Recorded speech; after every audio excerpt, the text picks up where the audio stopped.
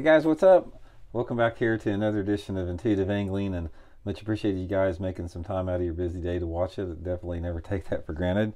Today, I'm going to show you what I consider the top, one of sort of my secret deal about fishing rocky banks and riprap uh, in the early pre-spawn, late winter, early pre-spawn, which we're getting ready to get into right now. I've got one bait that I've caught so many big ones on in these type of areas, so I'm going to go over that and teach you guys a little bit about how to fish it. Um, real quick, guys, got two quick housekeeping tips. Just want to remind you guys, we got the Randy Blaukat uh, Signature Series RB2 Solar Bats up for sale again on the Solar Bat uh, website. I'll include the link in the description. Uh, we sold out in uh, early December, just got another shipment in, so you guys can get them there. And also, if you haven't had a chance, please check out our View Product Shopping tab, the little thing that says View Products at the bottom of the screen. There is no better way to help this channel out than going to there clicking on one of the 30 products I put in there, or click on all 30 products, and uh, that takes you to the site. You have to click twice. You have to click the product, then you have to click the site that it's on in order for the channel to get credit, and that's much appreciated. Good way to help out here. Okay, guys, let's talk a little bit about um, fishing rocky banks and riprap in the late winter and early pre-spawn we're getting into.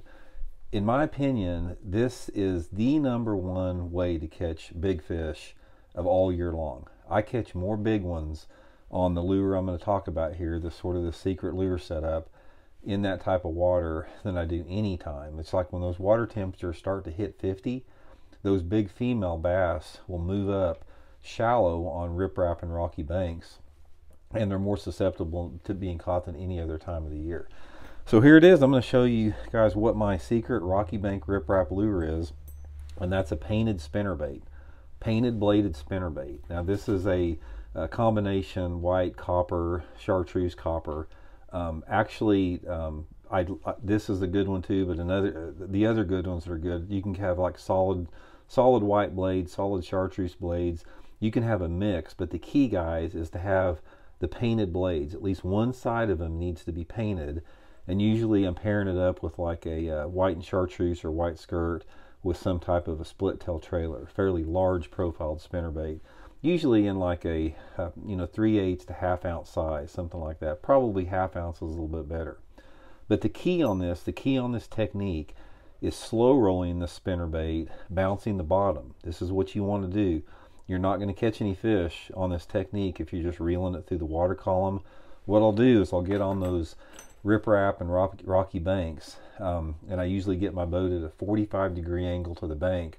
I'll cast up on the bank, uh, slowly start reeling it, and then I'll kill it and let it hit the bottom, maybe in about three foot of water.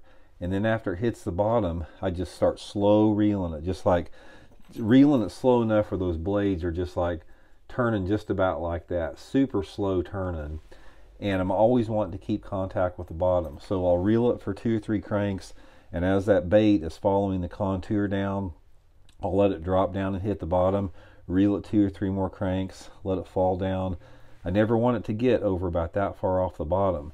And I, I work it down in that sort of like from like the three to 10 foot zone, depending upon the water clarity. If you got, you know, dirty water, say that water visibility is less than a foot and a half or so, most of those fish you're going to catch are going to be two to four foot deep.